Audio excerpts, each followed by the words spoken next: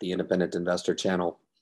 How is it that we make sense of uh, the big board behind me, the S&P 500? It's um, always a very difficult question to ask because every investor is different and how they seek exposure to the market in some capacity or another. Mark my words, if you own a mutual fund or you own an ETF or you own, you know, any type of uh, passive product out there, you probably own in some capacity a lot of the names that are represented behind me on the S&P 500 but uh, you know, as a beginning investor, you say, well, you know, how is it that I maximize my exposure? And you know, what is the best way to to, to tackle this thing? And the, the the the sheer reality of it is that you're not going to own it all overnight. And I know that there's um, a lot of people that um, they want to get invested. They want to get invested quickly. I think the worst thing you can do is rush into the program. And I think uh, really explaining how it is that I've evolved where I am now can kind of help you maybe pick one or two strategies and even maybe one can do to start. As I outline, I was asked the other day how many holdings I have. Well, I have 148 holdings. Okay. I started with my first two. Kraft at the time, it was Kraft uh, Foods. It ended up being Kraft Heinz uh, after that, and AT&T. Those were the first two stocks that I ever owned a single stock. When I started investing, I dabbled in mutual funds. I did quite well.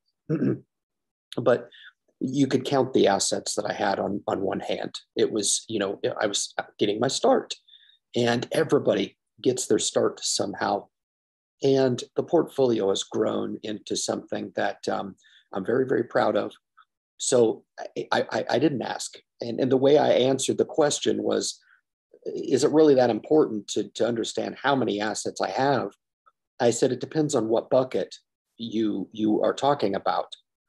Because I think you're going to understand that when I break down the structural uh, element of the portfolio, I think you're going to find that um, it, it is involved, um, it is mature, uh, it's evolved over 25 years of investing, dollar cost averaging what I can when I can, um, I invest a little over $2,000 a month to my program. This is what I do. Some can do significantly more than that. Some, some it can't. They, they, they do less than that. Maybe they're at a starting amount, and that's totally fine too. I think the real takeaway from my message, man, is to understand the fundamentals of wealth building.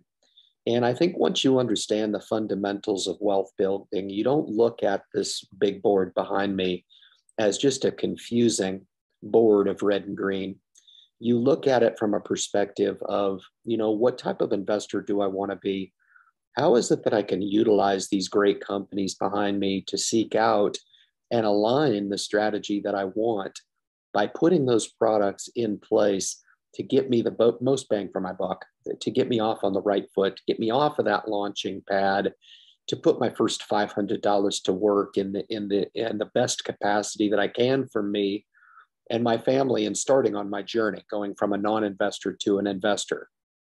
So 148 holdings is what I currently work. And you might think, well, wow, that seems like you're really spread out. I think if you look at it and you start to break it down fundamentally, I think you'll understand why it is I have that many assets. And when I say assets, they could be index funds, they could be ETFs, they could be single stock, um, they could be options. So um, I do have 48 uh, options contracts as well, which is another one of my strategic pillars. And the way I approach investing is I try to go after exposure in as many different categories as I possibly can. Now, before you start throwing tomatoes and you start thinking, you know what, you only need one index fund, you only need one product, you only need one, this, that. Might, might I stress to you this? Investing is individual to, to each and every person out there. And I'm not one of those investors that buy into the philosophy of having one index fund that's a total market uh, ETF or a total market index fund because I think putting all of your eggs in one basket really can can be detrimental. Now, I do acknowledge the importance of passive investing. Uh, about 30% of my wealth is tied up in ETF and passive investing. I don't I don't touch it. I let it go. Uh, it does it th- its thing. It it it uh, looks to um, match the market from year to year, and I'm good to go on that.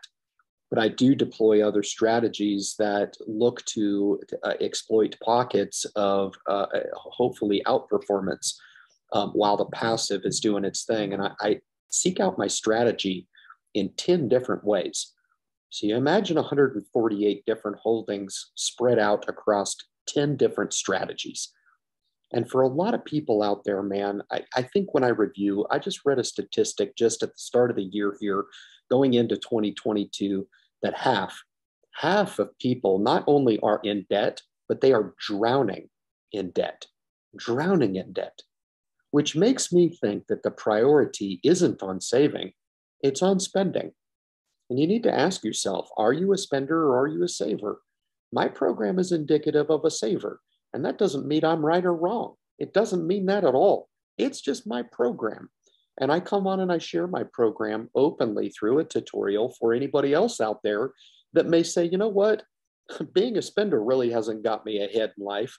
Maybe I'll check this out a little bit tune into the independent investor channel and check out somebody who's who's done it and has some results to show what it is can be can be rendered as a saver using the stock market and the leverage and power of the stock market to pursue different strategies. Now I'm going to go over these 10 strategies for you guys. Some may resonate with you, some for beginning investors you may not understand. There's no no problem the real takeaway in a 10 minute video when you come onto the independent investor channel is to light that fire a little bit kind of kind of initiate that spark inside you to understand that it's more than just a savings and checking account guys it really is an attempt to set up your own personal brand for yourself and, and define for yourself your your own empire you don't have to always give away the farm and i think with home uh, uh, mortgages we give away the farm to the bank for 30 years. We pay double what the house is worth over time on the amortized schedule. And then with our investments, we do the exact same thing, going through a financial planner, giving away 3% of our wealth. You know, by the time we end up retiring, we, we will have provided so much uh, charity to the institutions that I aim to fight and in my quest to advocate for retail investors that if if you knew the truth, you, you would probably have regret. And that's what we're trying to avoid here is to understand that by keeping the chips on your side of the table, by deploying at least one or all of these strategies, it just puts you that much uh, more on the right foot toward financial security into your future. So, passive investing, I've already mentioned that. I've got my retirement accounts. And a lot of you guys, if you have that, that's just a layer think about each of these strategies as layers. And you can say, well, I'm not really interested in crypto investing. Okay, no problem. Think about these as layers to be added or taken away or omitted or not engaged in as you look to build out your program and take yourself from a, a beginning applicator to a little bit more of an advanced applicator in seeking out some of these different strategies. Um, the next is dividend growth investing. This is a fabulous way uh, of putting a lot of blue chip companies into your portfolio and, and rendering that nice dividend over time. Um, these become extremely uh, attractive during a recessionary periods when the stock market, uh, from a passive and holistic perspective, is not providing the results that we're, we're, we seek and those dividend uh, payers, those aristocrats, and those dividend kings really do help to supplement that bottom line by paying us that three to four percent healthy dividend that we seek in a nice dividend growth investing portfolio. Um, the next is growth investing. Um, I do a little uh, a little dab of this. This is twelve percent of my total overall portfolio. So one strategy, and you might think, man, that's crazy. Ryan's doing growth investing. I control the level of involvement with the percentage that I declare to you. So keep that in mind. I know there's a lot of folks that have 100% in growth. That might be great for them. Um, it's it's not good for me. That's just what I choose. Is is right now I fall at about a 12% clip to growth, and it works for me. Um, the next is hyper growth. Um, hyper growth is some of the speculative plays that I have in SoFi, um, some of the stuff that's even some of the micro cap stocks that I have, and then Hyliion being my dominant hyper growth uh, type of avenue that I have right now in the portfolio. I think it's important. It's important for me um, to, to satisfy that palate that I have for uh, going after kind of a hyper growth uh, type of a strategy because I already have the dividend growth established. I already have the passive established, right? So you can kind of see how I've looked to take my arms and, and put my meat hooks into this red and green board behind me and how it makes sense for me. Does it have to make sense to you in the capacity that, that I'm declaring to you? Not at all. Not at all. But the idea is to show what is what is possible, what the potential is in investing. I do all this myself. This is self-directed investing. This is my program. Okay. I give it to you open and free. You pay nothing. You want to click through the ads on YouTube, by all means, go ahead. I'm one of those YouTubers that doesn't give two shits about that type of thing in the first place. What I'm interested in is for you to take away the value in defining swim lanes within investing, where a lot of people get really confused as to how to make sense of the big board behind me. Okay. Uh, bonds uh, is a small element of my portfolio, less than uh, four tenths of a percent in the portfolio. So a very small piece, but it is a strategic piece. So I declare that to you now. Um, next is 529s and UTMAs for my kids. I have both, they're separate. Okay. So how do I uh, strategize that? That's a separate account in and of itself. I have two kids, two 529s, and two UTMA accounts. So this will come in the cumulative accounts when I declare that to you at the end of the video. And you're going to want to stick around for that because I think a lot of people have two accounts. Okay. I'm going to declare to you at, at the end of the video and you're to, it's to raise your eyebrows a little bit. And you're to be like, why? It makes sense as you look at to, to look at your own program as an empire. Okay. Don't, don't, don't be don't be satisfied for just the status quo, man. Don't be one of those investors that just saves to cash your entire life, has an old school checking account. I write one or two checks a, a year. It's almost one of those things that are obsolete. But the reason why I declare my program is because it is independent, it is unique, and quite frankly, it is scalable to the masses. But until I start to see some more people uh, take on a little bit more of an advanced uh, type of method and an advanced type of approach for themselves, I'll keep foot stomping the message out there because my results speak for themselves. These are the swim lanes that I abide by to divvy up my half a million dollars worth of wealth that I have in my comprehensive portfolio and I share them with you openly on the channel. The next is options. I mentioned the 48. Most of those are tied up right now in call options. I didn't even throw the remaining uh, put options that I have actually um, I, I, have sold some premium on the put side, no big deal. So that probably rounds out to a to a nice even even 50 uh, options contracts. I, I, love doing cash secured puts. I, I, love doing leaps and long calls.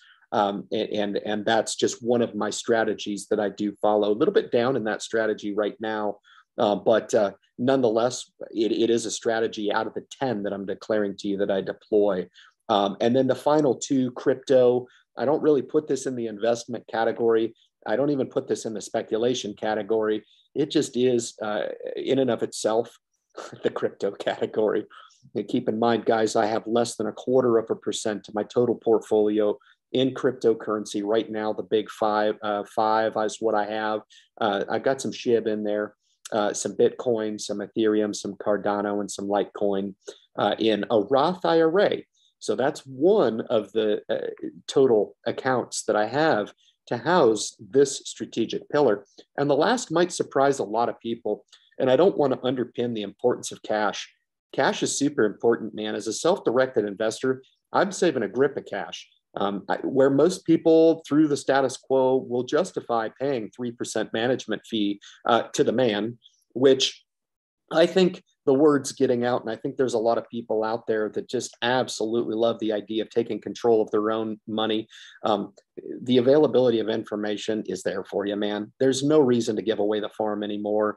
Take control of your own future, man. D- don't, don't, don't subject yourself to a middleman for the for your entire life. you'll be just being called upon with the sheep in line with thousands of other investors that are equally and cumulatively selling out to the man, allowing these financial institutions, man, to engage in what I consider to be modern day highway robbery. It's it's it's nothing, and I will not be called upon with that community. I'm individual. Um, my results speak for themselves, and I enjoy my results for me.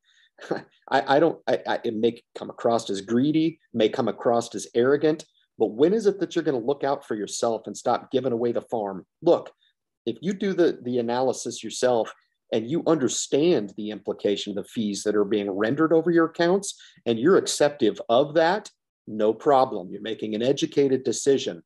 But what I will not stand for is individuals out there that are naive to the fact that you end up paying a grip over time that are consumed by fees over time. Okay. So I cannot stress the amount of, of, of credence that I put on cash. Um, it's one of the accounts that I'm going to declare to you now. But to house this 148 holdings, ETF stock, index funds, et cetera, and down the line, to initiate these 10 strategies that I have, I use 20 accounts.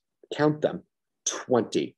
Four for the kids individually, three with M1 Finance, three with Bank of America, two personal accounts. Uh, I've got two that are pending right now for the business, actually, to start for the independent investor channel, the crypto Roth IRA account, just to give you an idea, but 20 total on the aggregate to give you an idea.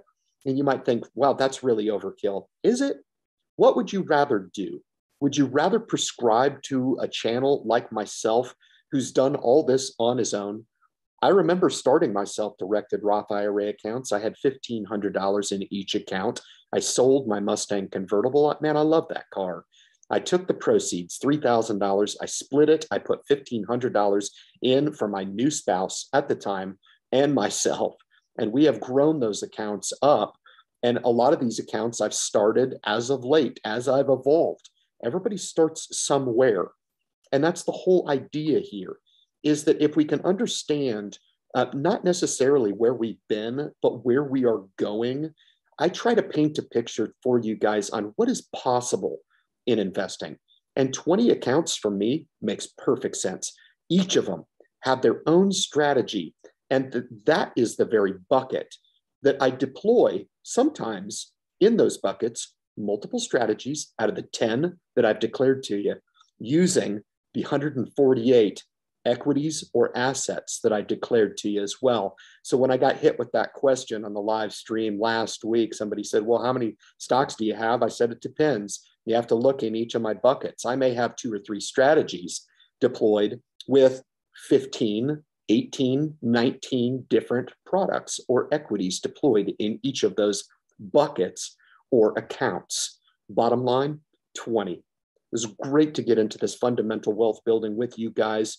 Hopefully, you paid attention, man, because these are the very swim lanes that I abide by. This is my program. Give away these strategies for free. A lot of people, man, they look at one or two strategies at most, and that's what they have the rest of their life. Me, I'm a fighter. So I'm going to deploy as many strategies. I've got a couple strategies in mind that I did not declare to you.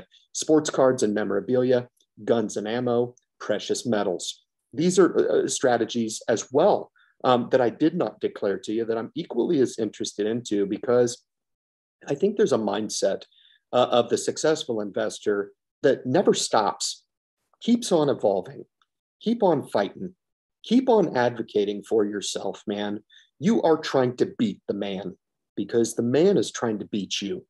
Make no mistake about it, the institutions are at war with retail right now. They're trying to take all your real estate, they're trying to take every single bit of your hope with taking your God given right to your individual retirement accounts and attaching all kinds of fees to them and, and, and doing it without you being uh, privy to it. And I think it's everything that I consider on the channel to be modern day highway robbery. And anytime we can declare ourselves as independent, we'll meet our goal of empowering one investor at a time. Guys, if you appreciate the message, you want to make sure and subscribe to the Independent Investor channel, man. share the message with anybody out there that you know is, is looking for some introductory information on the markets.